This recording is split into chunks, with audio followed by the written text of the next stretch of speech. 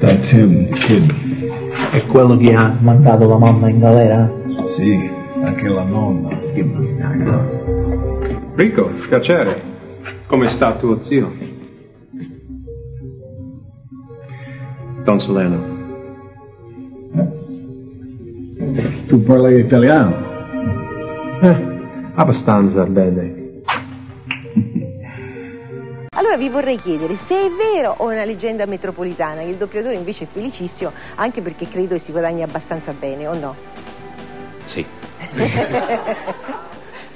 per motivi di timidezza soprattutto si fa doppiaggio. Ho iniziato facendo le imitazioni. E per esempio Bossi come, Eh, infatti il mi mio personaggio che è Danny Santos, eh, a lui volevo dare la voce di Bossi. E cioè come veniva fuori? Però i meridionali, poverini, no? Mi precludeva una fascia di pubblico comunque. Un saluto! Tutti assieme, Roma ladrona, la Lega non perdona. Caspita, devo dire che la mamma finalmente, Carmen, no? Eh, Carmen si sarebbe un po' spaventata con un figlio del genere in questa maniera. Hai mai provato a pensare che da quando noi due ci siamo conosciuti, tutta la mia vita è diventata un vero inferno, Michelle? Sono stato arrestato ieri sera e ho fatto arrestare mia sorella. Ho messo in pericolo tutta la mia famiglia e coinvolto anche la mia sorellina. Adesso lei ci considera solamente un branco di delinquenti.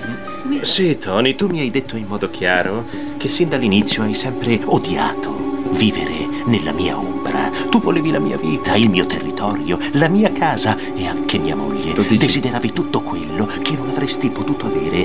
Ma io so che cosa succede tutte le volte che ottieni quello che vuoi. Tu non lo desideri più. No, solo che c'erano delle cose che avrei voluto.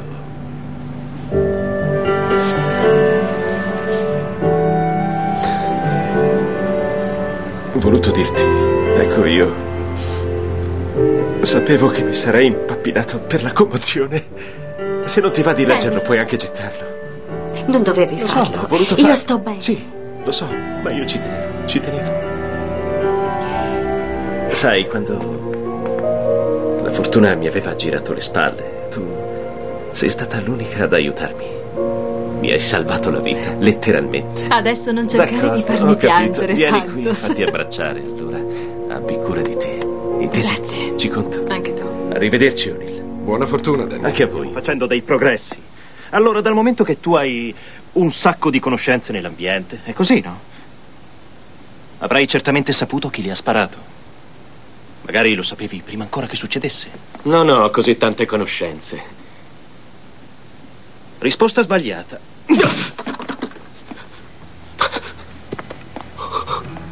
Te l'ho detto. Non puoi prendermi in giro.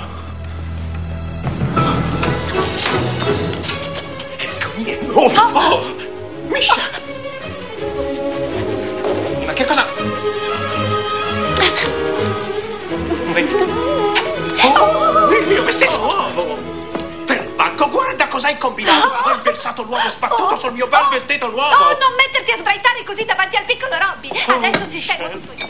Tu sarai l'uomo più affascinante che ci sia in tutto l'ufficio oggi. Su, dammi un cuci cuci cu. Ah, sì, te lo do io i cuci cuci cu se mi fai perdere la riunione che ho questa Riunioni, mattina. riunioni. E questo è il tuo spirito latino? Mm? Dov'è finito il fuoco che hai nelle vene? Fammelo vedere, eh? Eh? Oh.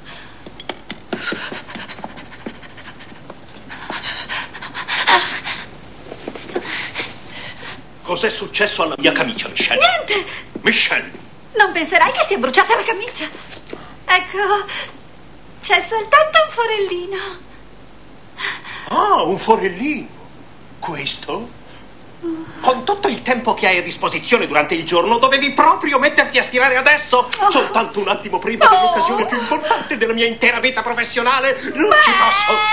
Michelle, è tutto a posto, ci sono altre camicie. Non sei arrabbiato con me? No, non sono arrabbiato con te. Io ti amo. Come amo anche Robby. Voi due per me, tesoro, siete più importanti di qualunque altra cosa al mondo. Mm.